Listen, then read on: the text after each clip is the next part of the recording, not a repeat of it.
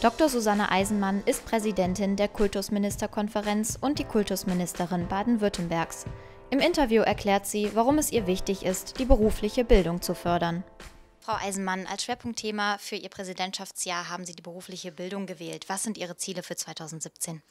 Wir stellen jetzt die berufliche Bildung in diesem Jahr deshalb in den Mittelpunkt, ähm, weil es vielfältige Themenbereiche gibt, die man da bearbeiten muss. Ähm, Themen wie können wir unsere, Schul unsere Kinder in den Schulen stärker auf die berufliche Orientierung hin ähm, unterstützen äh, bei der Berufswahl, die Frage der Digitalisierung.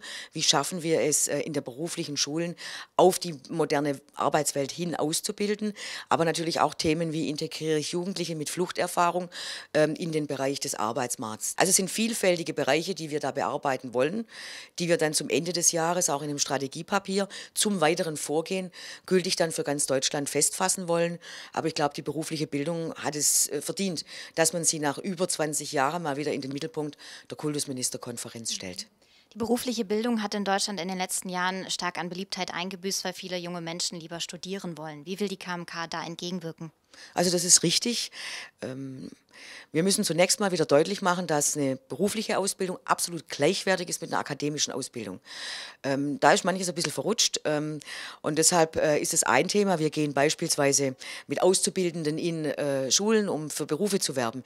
Wir haben in Baden-Württemberg das Fach Wirtschaft jetzt für alle Schularten verbindlich eingeführt, um auch hier die Bedeutung und die Möglichkeiten, die eine berufliche Ausbildung, eine duale Ausbildung mit sich bringt, stärker in den Mittelpunkt zu rücken. Und dann wir natürlich auch die Eltern, die bei der Berufswahl des Kindes ein bisschen mehr sehen wie nur äh, ausschließlich ein Hochschulstudium. Mhm. Welche Eindrücke nehmen Sie von der Didakta 2017 mit? Äh, tolle Eindrücke. Ähm, ich hatte, war jetzt äh, die ganzen Tage nahezu komplett hier. Viele Diskussionen, Standbesuche. Ähm, man nimmt sehr viel mit, auch durch Gespräche. Aber man kann sagen, Digitalisierung ist ja ein Schwerpunkt der Didakta. Toll, was ähm, alles für Möglichkeiten da sind. Äh, interessante Entwicklungen. Man sieht die Grenzen aber auch. Wo gibt es noch Probleme? Wo müssen wir auch ein Stück weit vorsichtig sein? Da bietet die Didakta 2017 einen tollen Einblick und deshalb kann nur empfehlen, tolle Veranstaltung, war ein großer Erfolg.